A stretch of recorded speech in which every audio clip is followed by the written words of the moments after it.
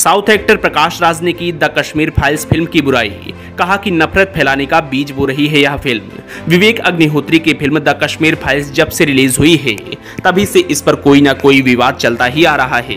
पहले इस फ़िल्म को लेकर केरल कांग्रेस ने ट्वीट किया।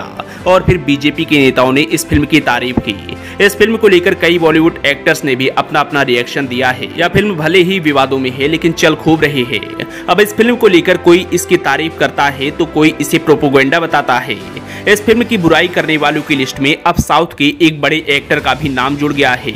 कश्मीरी पंडितों के साथ हुई बर्बरता को दिखाने वाली विवेक अग्निहोत्री की फ़िल्म शुरू से ही विवादों में घिरी है। अब इस फ़िल्म की बुराई करते हुए साउथ के सुपरस्टार प्रकाश राज ने अपना रिएक्शन दिया है। उन्होंने इसके खिलाफ कई ट्वीट किए। सबसे पहले उन्होंने एक वीडियो शेयर करते हुए पूछा कि द कश्मीर फाइल्स चल रही है या फिर नफरत का बीज बो रही है। उन्होंने कहा कि बस ऐसे ही पूछ रहा हूँ। इसके बाद उन्होंने एक पोस्ट शेयर करते हुए ट्वीट किया। वैधानिक चेतावनी।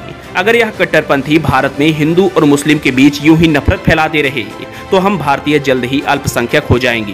प्रकाश राज ने इसी ट्वीट की आड़ में विवेक अग्निहोत्री से इशारों इशारों में पूछ डाला कि क्या वे गोधरा कांड, दिल्ली दंगों और नोटबंदी पर भी कोई फाइल्स बनाएँगे?